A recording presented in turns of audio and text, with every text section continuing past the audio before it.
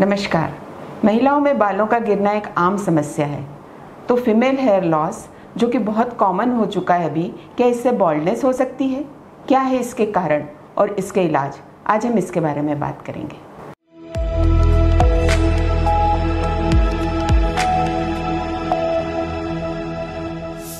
Female hair loss जिसको हम female pattern hair loss भी कहते हैं। जब हेयर लॉस की बात आती है तो यूजली हम देखते हैं कि पुरुषों में एक बॉल्डनेस बहुत ही कॉमन होती है। और चूँकि पुरुषों का जो पैटर्न होता है हेयर लॉस का, जिसे मेल पैटर्न हेयर लॉस कहा जाता है, उसमें आगे से बाल जाते हैं। और आगे से बाल जाने के कारण हम उसे जल्दी से डायग्नोज कर पाते हैं। लेकिन महिलाओं में जो पैटर्न है हेयर लॉस का, उसमें एंटीरियर हेयर लाइन या आगे के जो बाल हैं, वो इंटेक्ट रहते हैं। इसे कहते हैं female pattern hair loss female pattern hair loss चूँकि एंटीरियर हेयर लाइन इंटेक्ट रहती है, बालों का गिरना शुरू होता है central part of the scalp से मिड स्कैल्प से। यह सामान्यतः यह देखा गया है कि जो महिलाओं में हेयर लॉस की एज होती है, वह या तो शुरू में स्टार्ट हो जाती है, जिसे बोलते हैं पोस्ट प्यूबर्टल 20 साल के आसपास की उम्र।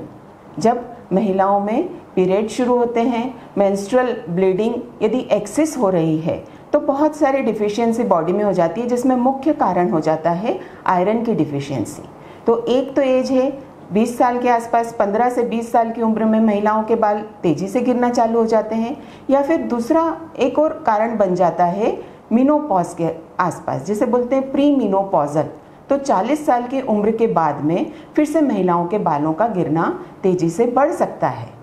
यह कहा जाता है कि 50 percent of the woman at the age of 50 they suffer from the hair loss महिलाओं में जो बाल गिरते हैं, उसे हम क्लासिफाई कर सकते हैं फीमेल पैटर्न हेयर लॉस को लुडविक क्लासिफिकेशन से। इसकी तीन ग्रेडिंग कही जाती है। तो ग्रेड वन में जो हेयर लॉस शुरू होता है, वो सेंट्रल पार्ट से शुरू होता है और वाइडनिंग हो जाती है। जो हमारी पार्ट विड्थ है पार्टिंग लाइन जो है, वो धीरे धीरे चौड़ी होने लगती है। तो इसे बोलते हैं ग्रेड वन ग्रेड टू में क्राउन में हेयर लॉस बहुत बढ़ जाता है पार्टिंग विड्थ और बढ़ जाती है। और ग्रेड थ्री जो कि सबसे advance pattern of hair loss है, उसमें ये जो सेंट्रल पार्ट है, ये करीब करीब बॉल्ड हो जाता है। लेकिन आपने देखा होगा, महिलाएँ कभी इतनी बॉल्ड दिखती नहीं। उसका कारण यह है कि even in advance grade of hair loss महिलाओं में ये वाले बाल जो आगे के इंटेक्ट होते हैं, जब इन्हें वो पीछे ले जाती है तो एकदम से बॉल्डनेस नज़र नहीं आती।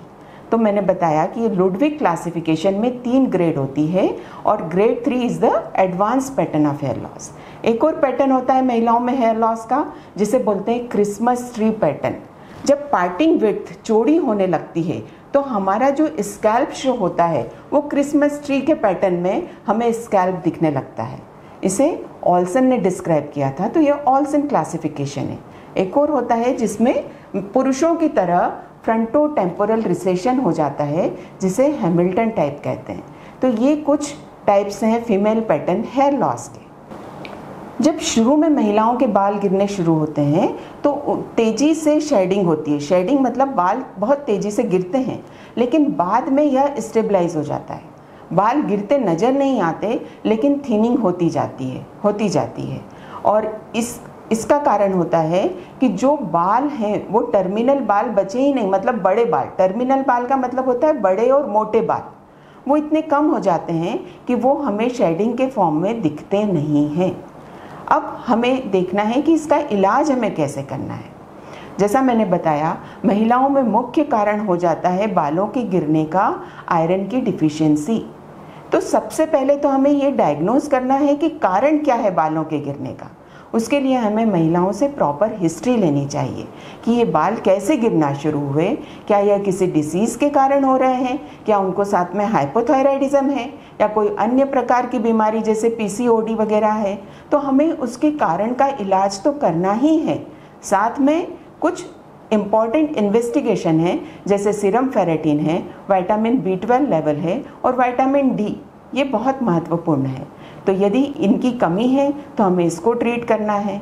साथ में महिलाओं में आज भी जो एफडीए अप्रूव ट्रीटमेंट है, वो है सिर्फ़ मिनॉक्सीडिल मिनॉक्सीडिल एक सॉल्यूशन के फॉर्म में आता है, जिसे टॉपिकली हमको स्कैल्प के ऊपर लगाना रहता है। ये दो कॉन्सेंट्रेशन में मिलता है। Two percent of the minoxidil महिलाओं को दिन में दो बार लगाना चाहिए। एक और आता है, जिसे फाइव परसेंट के कॉन्सेंट्रेशन में मिलता है, उसे दिन में एक भी बार लगाएँ तो वो सफिशेंट है। मिनॉक्सिडिल के लगाने का तरीका बहुत महत्वपूर्ण है। इसे ड्राई स्कैल्प पे लगाना चाहिए मतलब जब आपके स्कैल्प और बाल गीले नहीं हो। ड्राई स्कैल्प पे हमें one M L of the minoxidil affected area में लगाना चाहिए। One M L frontal part के लिए सफिशेंट होता है। लेकिन यदि बॉल्डनेस या थिनिंग बहुत ज़्यादा है और पीछे तक जाना है तो हम दो से तीन एम एल भी काम में ले सकते हैं। जब हम मिनॉक्सिडिल लगाएँ तो इस बात का बहुत इंपॉर्टेंट है ये ध्यान रखना कि वो मिनॉक्सिडिल हमारे सिर के ऊपर नहीं आए। नहीं तो अनवांटेड हेयर ग्रोथ हो सकती है। एक और साइड इफ़ेक्ट होता है मिनॉक्सिडिल का, जिसे हम बोलते हैं कॉन्टेक्ट डर्मेटाइटिस या ईचिंग तो ईचिंग बहुत कॉमन हो जाती है मिनॉक्सिडिल एप्लीकेशन के साथ। इसके लिए एक फोम बेस का प्रिपरेशन अवेलेबल होता है। तो मिनॉक्सिडिल फोम से ईचिंग की समस्या रिड्यूस हो जाती है या कम हो जाती है। एक और बात का ध्यान रखना है मिनॉक्सिडिल के साथ में कि प्रेग्नेंट महिलाओं को इसको काम में नहीं लेना है। तो ये तो एक एफ़ अप्रूव ट्रीटमेंट है। इसके साथ बहुत से दूसरे ट्रीटमेंट अवेलेबल हैं, जैसे ओरल मिनॉक्सिडिल मिनॉक्सिडिल को हम ओरल फॉर्म में भी ले सकते हैं।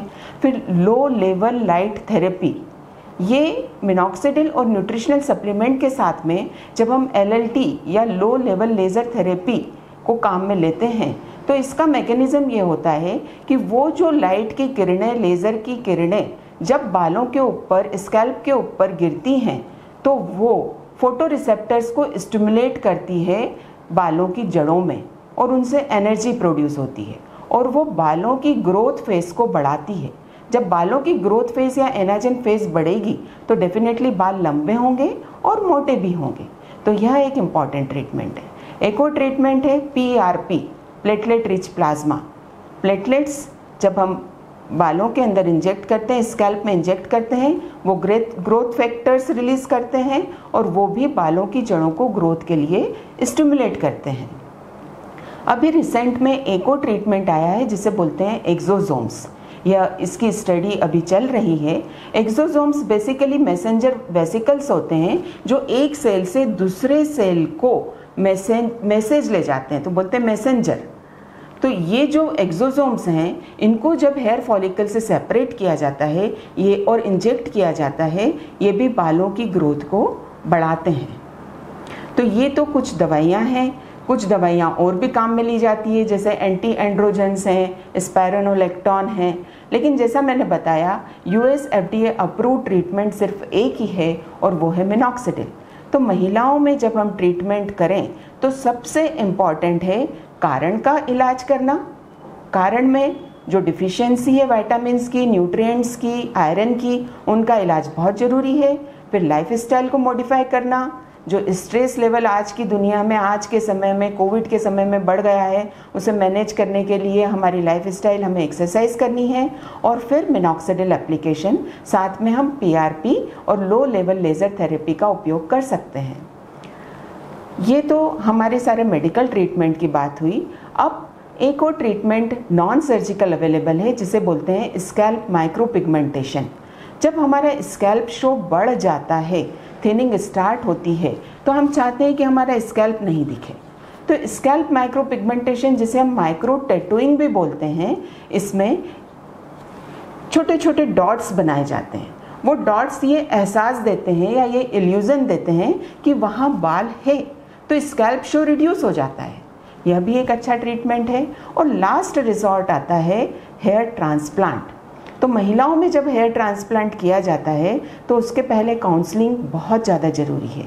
हेयर ट्रांसप्लांट उन्हीं महिलाओं में किया जाना चाहिए जो वेल मोटिवेटेड हो, जिनके एक्सपेक्टेशन रियलिस्टिक हो और जो मेडिसिन लेने के लिए तैयार हो। एग्जिस्टिंग बालों को बचाना सबसे महत्वपूर्ण कार्य है।